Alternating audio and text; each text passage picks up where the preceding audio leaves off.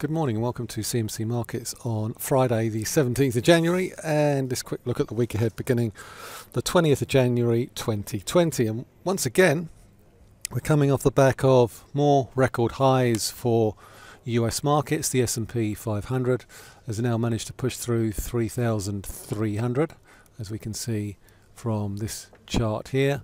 And the likelihood is, as long as we stay above 3,300, that there is potential for the market to move even higher. And we're also, investors are now starting to talk about the prospect of Dow 30,000. We've also seen Google or Alphabet become the latest in uh, the latest line of US companies to move past the trillion dollar market cap, trillion dollar baby. So we have now got Amazon, we've got Apple, and we have Alphabet. So the three A's are all pushing, or all have pushed up above that trillion dollar barrier. And while there is some concern that we could will we could well be looking a little bit toppy, thus far, um, the trend, the current trend, doesn't appear to give any indication whatsoever that we're likely to end. We've come off the back of the ratification in the US Senate of USMCA, which is likely to get signed off over the course of the next few days by President Trump. Um, that gave the US President his second win of the week in the wake of the signing of the Phase 1 China trade deal, which I think, in terms of um, overall expectations, was pretty much as markets expected.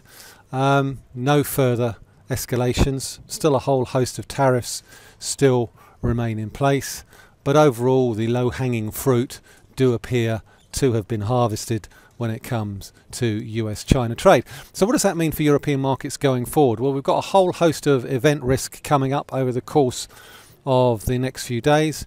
And we're going to start with the German DAX. The German DAX is still knocking on the door of 13,600. That's our next real target going forward for the DAX and we'll be looking or paying particular attention to these series of highs that we saw all the way back in 2017 2018 those are the previous all-time highs. And those those those those are the key those are the key levels that I will be keeping my eye on over the course of the next few days. This high here around about 13,600 that's the big barrier on the upside when we look at the Germany 30. Also, there's a significantly there's a significant resistance level also on the FTSE 100. Um, slightly more bullish on the FTSE 100 than I am on rest of European markets. We're looking at the highs here that we saw back in the end of the summer last year, July 2019. But more importantly, there's also the highs that we saw all the way back in 2018 around about 7,900. My long-term target for the FTSE 100 this year is to have a crack at that 8,000 level. I still think that there's certain, certainly potential for UK equities to go up and test that 8,000 level um, by the end of this year. Um, so that's the the key indices. It's also um, we're also looking at the Davos World Economic Forum next week. We've also got a whole host of UK data coming out. There's increasing speculation uh, about the Bank of England and whether or not they are going to cut rates on the 30th of January at the end of this month when they meet for the first time this year. It will also be Mark Carney's last um, meeting as central bank governor. And UK wages and unemployment are the key UK data item in the week coming up on the 21st of January.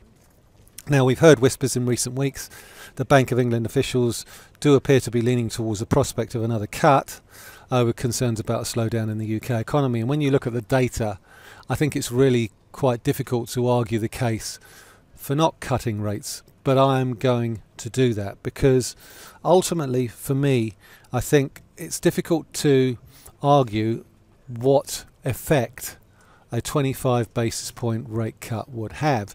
We've seen disappointment in terms of the retail sales for November and December, both um, very negative numbers. But what that tells me is consumers are starting to cut back. and that's by no means a bad thing. Consumer credit is still at very elevated levels. The last thing you really want to be doing at a time um, when consumers are cautious about spending and consumer credit is high is cutting interest rates by 25 basis points six weeks before a budget where a new government could well embark on a fiscal stimulus. I certainly think there's merit in the Bank of England looking and waiting until March and see what the budget unfolds. And I still think there's potential for a January rebound in the wake of the general election win from December the 12th because while UK consumers have started to rein back their spending, certainly business optimism has started to increase in the wake of the Conservative Party election win, and that could actually manifest itself into a little bit of a rebound into the first quarter of this year. Um, some of the slowdown that we saw at the end of last year was largely as a result of uncertainty, political uncertainty over Brexit, but also the prospect of a Labour government. And to be quite honest, if you're faced with the prospect of a Labour government, given their manifesto, you're not going to be opening the spending taps when it comes to investment. That risk has now gone. So I certainly think caution is probably the better um, thing to do rather than cutting interest rates from 0.75 to 0.5. But unfortunately, the reaction function of the Bank of England is if, if at first you don't succeed, try, try, try again in the hope that you'll get a different result. I'll give you a clue, you won't. Um, so that's um, UK wages and unemployment. They're still, wages are still trending at around about 3%. Unemployment is around about 3.8%, close to 40 year lows. So, real earnings growth, we're still getting real earnings growth with inflation fairly low. So, I don't think there's any rush to cut rates quite yet. We've also got another um, central bank decision next week, a raft of them. We've got three. Bank of Japan rate decision on the 21st. Bank of Canada rate decision on the 22nd and an ECB rate decision on the 23rd. So let's look at dollar CAD first and foremost. Um, that's just broken out of this triangular consolidation from here. We've tried to move back above it. The big resistance level I think for me for dollar CAD is 131. Very much a case of sell the rally here. We've broken out of this downtrend or this, this, this triangular consolidation, which would appear to suggest that we're probably going to get dollar, dollar weakness and Canada strength over the course of the next few months. This pattern could take two or three months to unfold. I would only throw in the towel on a lower dollar CAD if we move back above 131. Looking at dollar yen, dollar yen's looking very well bid at the moment, very strong dollar. We've moved back above 110. Um, we've broken this downtrend line here from the highs that we saw all the way back here in 2018 and that has the potential to open up a move back towards 111.50 112 and this larger long-term downtrend line here from the highs that we saw all the way back in 2015 so certainly it's very much a case of buy the dips in dollar yen based on the break above the, these this series of highs through here at 109.70.80 and the the upward move in dollar yen would only be mitigated if we drop back below 109.70 that could take us back to the middle of the range around about 107 and a half 108 it's also ECB rate decision as well now that'll be Christine Lagarde's second ECB uh, rate decision as president we're pretty much in a range on euro dollar. It's pretty much like watching paint dry trading euro dollar. Very much a range trade, looking fairly well supported around about uh, just below 111. And I think the key things I'll be looking for on the ECB rate decision will be what President Lagarde is likely to sketch out in terms of the scope of any strategic review that she's looking to undertake into the central bank's overall remit. She, she's she may she may want the ECB to do more, but I think there's a certain number of members of the governing council who are opposed to doing any more uh, than they did at the last meeting or the, the last meeting that they acted all the way back in September.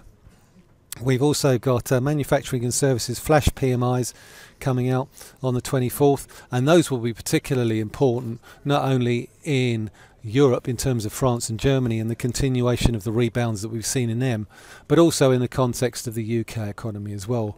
UK manufacturing and services PMIs, did we get a bounce in the wake of the 12th of December um, general election poll win of the Conservative Party. If we do get a rebound, at the moment, uh, markets are pricing a Bank of England rate cut at around about 70 75% probability.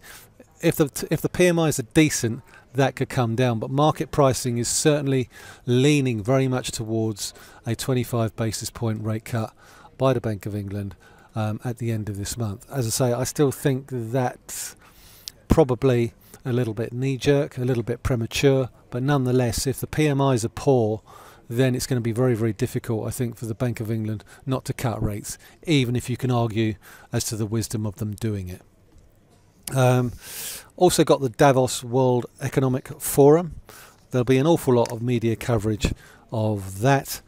Um, there'll be plenty of pledges from business leaders and politicians to come up with measures to help boost the global economy, as well as trade, as well as deal with the challenges of climate change. I think the reality is that for all the heat and light, to paraphrase William Shakespeare, it will it will be probably much ado about nothing, as it has been for the last 10 years. In terms of earnings, we've got a quite a quite a few high profile earnings announcements coming out over the course of the next few days. We've got EasyJet.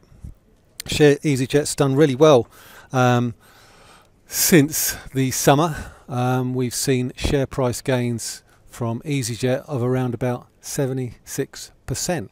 Um, certainly some decent gains there. And one thing I will be paying particular attention to, particular attention to is whether or not they will outline further plans with respect to their EasyJet holidays operation um, in the in the wake of the collapse of Thomas Cook. Given that EasyJet have already paid 36 million pound for the collapsed holiday company's slots at Gatwick Airport and Bristol Airport, but it does look a little bit toppy at current levels. So I certainly think there's scope for disappointment there on EasyJet. We've also got Netflix. Netflix is always worth talking about. It's always worth having a look at. Um, it's seen a decent rebound as well over the course of the past few weeks and months. The launch of Disney Plus and Apple TV Plus in the last quarter could well have impacted Netflix subscriber growth over the Thanksgiving and Christmas period. It's had a decent rebound. It's starting to get a little bit sticky in and around these sorts of areas um, here around about $340 after the lows is just below 260 in October Netflix raised another $2 billion in debt to fund new content I think management will be hoping that the addition of a host of new content coming online, including the second series of Lost in Space and the recent success of Martin Scorsese's The Irishman, will have helped boost its subscriber numbers. They're aiming for 7.6 million new subscribers in Q4. If they fall short of that, then you could well see a bit of a reaction towards the downside. So that's it for um, this week. Thank you very much for listening. Any questions, please drop me a tweet at mhewson underscore CMC. Otherwise, have a great weekend and happy trading.